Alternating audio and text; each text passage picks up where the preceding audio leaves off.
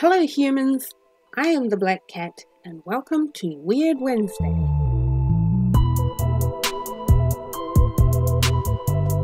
So, time slips. What is a time slip? Well, a time slip is a phenomenon where people claim to accidentally travel in time.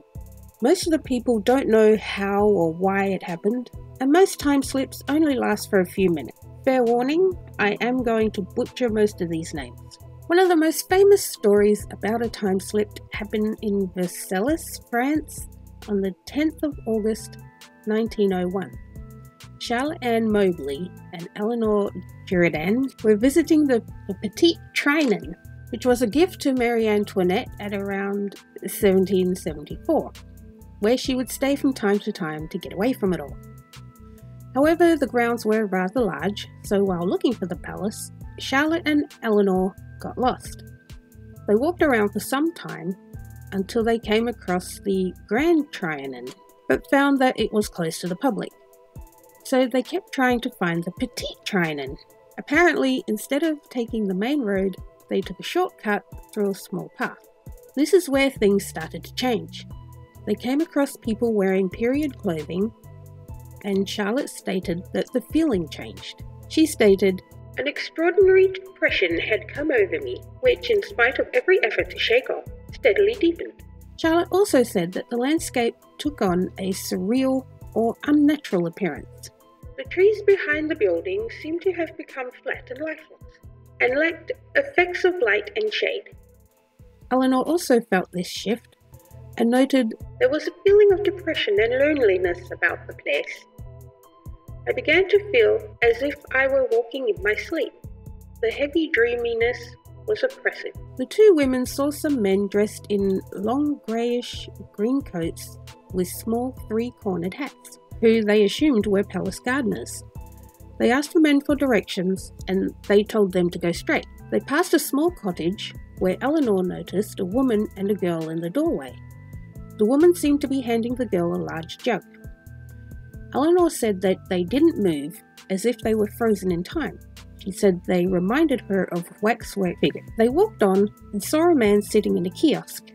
They described him as looking like he had smallpox. Charlotte described the man as most repulsive, his expression odorless, his complexion was dark and rough, whereas Eleanor described him as evil and repugnant, saying, The man slowly turned his face, which was marked by smallpox.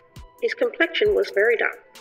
The expression was evil and yet unseeing, as though I did not feel that he was looking particularly at us. I felt a repugnance to going past him. Eventually, they finally reached the Petit Trianon, where Charlotte saw a woman sitting in the grass and sketching. Charlotte gave a detailed description of the woman, wearing a light summer dress, a white hat, and long hair. When Charlotte first saw her, she thought that she was a tourist, but her appearance was somehow out of time.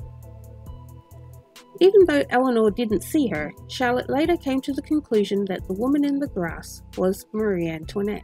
The two women didn't speak about the incident for about a week after, but Charlotte couldn't stop thinking about it, so she asked Eleanor if she thought the Petit Trianon was haunted. They both agreed that something strange had happened and decided to write down their accounts of the day separately. Whilst conducting further research, they found that on the 10th of August in 1792, the palace was surrounded and the King's Guard killed. Six weeks later, the monarchy ceased to exist. They also thought that they found out who the man sitting by the kiosk was a close friend of Marie Antoinette. Charlotte and Eleanor tried to retrace their path couldn't find some of the landmarks that they saw. They decided the palace was indeed haunted and published their experience in a book called The Adventure that was released in 1911. They wrote the book under the pseudonyms of Elizabeth Morison and Frances Lamont. Although the book became a hit, some critics were skeptic about the authenticity of their story because they both saw different things and some elements the other couldn't verify. So, what are the theories?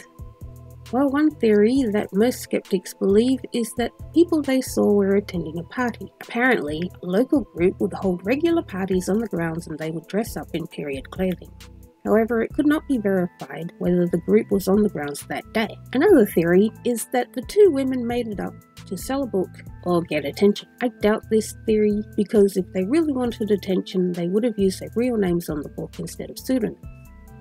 Plus, the fact that at the time it would have been difficult for two women to publicly claim events of the paranormal without fear of backlash. I think the fact that they both stuck to their story, regardless of the criticism, shows more that what they experienced was real.